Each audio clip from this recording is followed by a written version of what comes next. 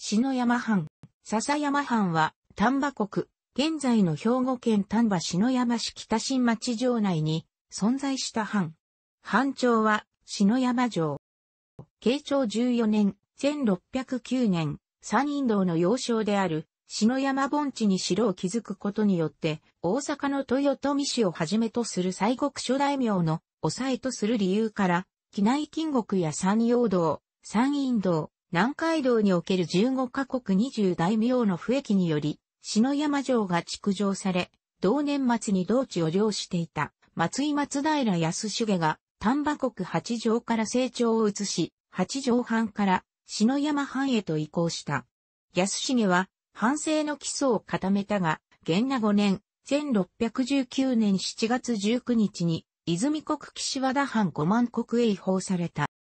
代わって、上野国高崎藩五万国より、藤松平新吉、徳川家康の異父妹の子が五万国で入ったが、新吉は、翌年の元那6年、1620年8月1日に死去した。その後を継いだ第二代藩主、松平忠国は、越後国村上藩主、村上忠勝など改易された大名の預かりや、丹波国福知山藩の常磐などを務めた。また、藩政においても、県地の実施や城下町の整備、社寺の建設、文化振興などを行った。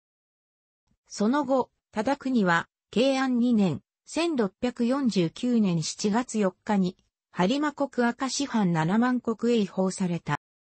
代わって、摂津国高槻藩3万6千国より、片野原松平康信が5万国で入る。康信は4年にわたる検地を実施して、合村制度を確立し、さらに在地勢力である土防を一掃した。安信の後は、松平道信、松平信俊と続いたが、前者は在職3年、後者は在職4年という短命な藩主であった。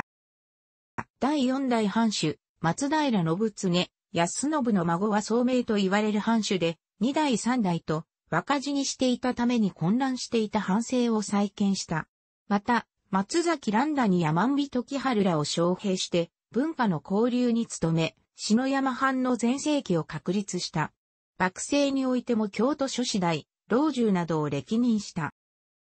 しかし、その後を継いだ第五代藩主、松平新進は暗愚と言われ、折しも享保の大飢饉と重なって米価が高騰し、豪祖が発生したにもかかわらず、過酷な重税を強いたため、藩内では百姓一揆が相次いだ。ついには延享4年、1747年に百姓から中傷されたことが発端となり、翌年の寛延元年、1748年8月3日、丹波亀山藩へ違法となった。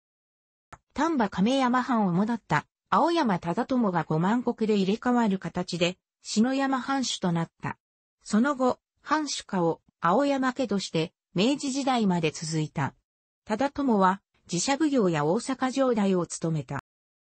第二代藩主、青山忠敬は、儒学者を登用して、藩校、新徳堂を建設し、藩士の教育と文化発展に努めた。一方、不作などにより、百姓一揆も発生した。第四代藩主、青山忠道は藩校を増築した。なお、忠道は、総社番、自社奉行、京都諸子代、大阪城代を歴任し、さらに老中を30年間も務めた功績から、文政10年、1827年5月7日に、東都海に1万国を加増された。第5代藩主、青山忠義も、また幕末期の混乱の中で、自社奉行や老中を務めたが、安倍正宏追放の企てに失敗し失脚した。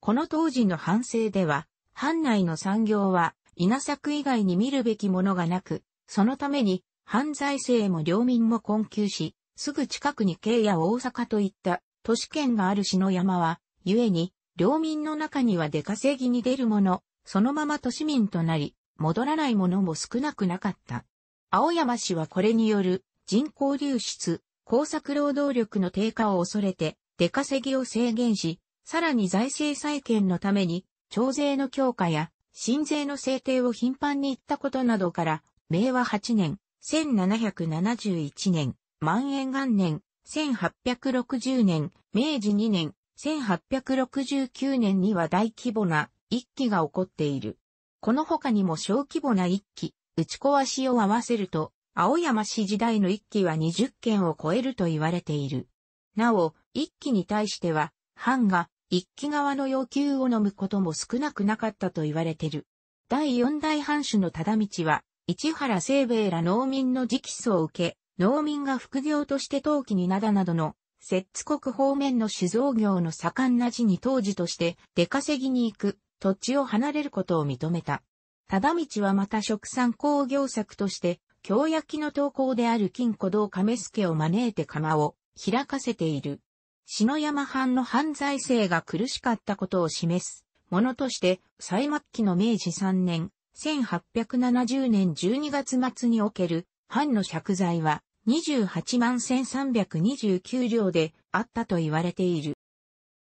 最後の第六代藩主、青山忠俊の時代である慶応4年、1868年、戊辰戦争が勃発すると、歴代藩主は幕閣であったが藩内は、砂漠派、新政府派に分かれて対立した。しかし、西園寺金持率いる新政府軍が篠山に侵攻すると、新政府に共準した。忠俊は、明治2年、1869年の藩籍法官により、地藩寺となった。同年に、東東海国にあった藩領が、静岡藩に移された徳川家里の領土として組み込まれたため、大体分として、丹波、田島国内で1万国を与えられている。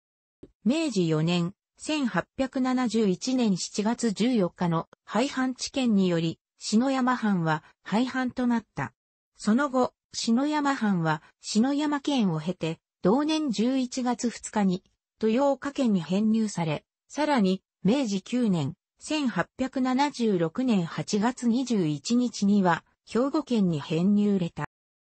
なお、藩庁であった篠山城の現存建築遺構として、縄文が市内の金賞寺山門として移築され、現存している。